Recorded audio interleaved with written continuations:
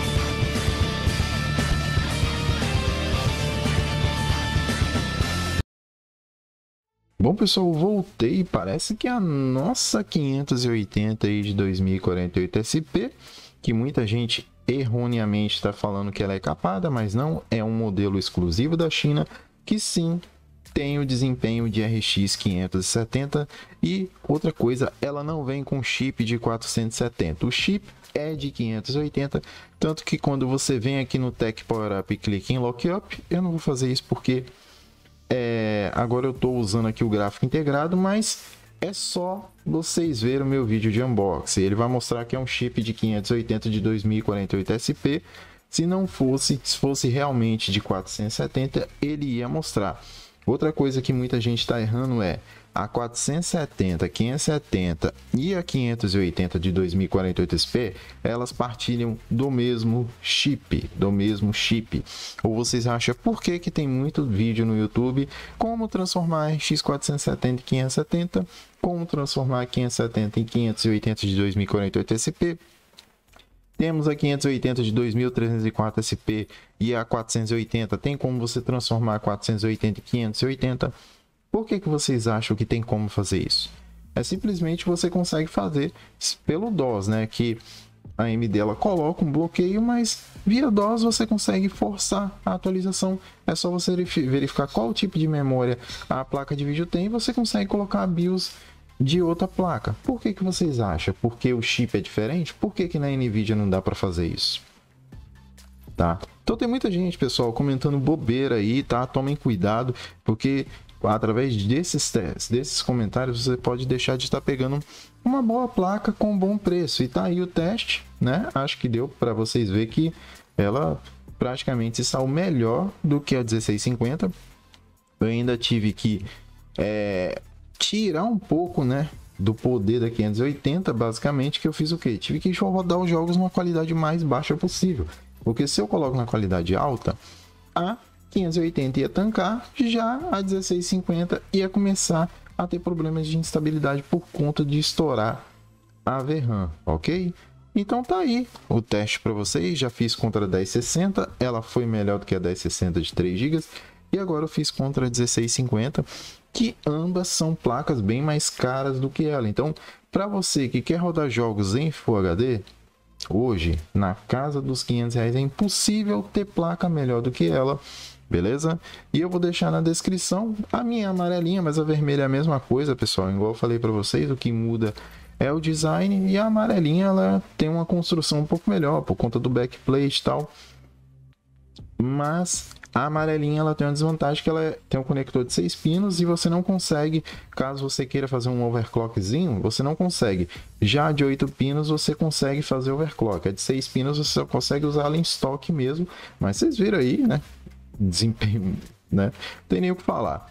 Então tá aí, pessoal. Mais um teste para vocês aí da 580 versus 1650 e o link dela vai estar tá na descrição. Eu vou deixar tanto da vermelhinha, que tá com preço excelente. Eu também vou pegar a vermelhinha, tá, pessoal? Vou pegar a vermelhinha, não agora, mas pro final do mês. E mês que vem eu trago testes da vermelhinha também para vocês, beleza?